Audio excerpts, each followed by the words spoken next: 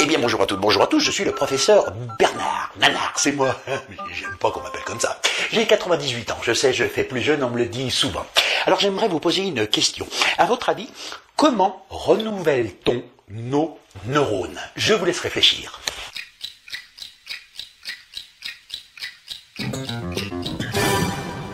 Alors, vous avez trouvé?